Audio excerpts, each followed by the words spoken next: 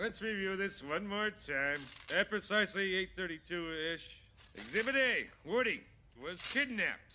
Exhibit B, closet sketch of the kidnapper. He didn't have a beard like that. Fine. Uh, Etch, give him a shave. The kidnapper was bigger than that. Oh, picky, picky, Let's picky. just go straight to Exhibit F.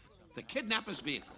Now, the vehicle fled the scene in this direction. Your eyes are in backwards. It went the other way. Hey, put a cork in. How do you spell FBI? High crime scene. Oh, why don't you watch where you're going, Godspiller? I didn't know there was a crime scene. Excuse me, excuse me. A little quiet, please. Thank you. Huh? The person who kidnapped Kermit is Doc Hopper, owner of Doc Hopper's French fried frog legs and Doc Hopper's toy barn. Ah, it's the Chicken Man! That's our guy. I knew there was something I didn't like about that.